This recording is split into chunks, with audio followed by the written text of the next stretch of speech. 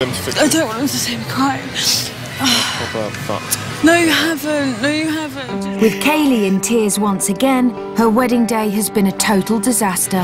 Sorry. But he knows the damage is already done. I probably made the wrong choice coming here. But after the roller coaster day from hell, one more disappointment will surely tip her over the edge.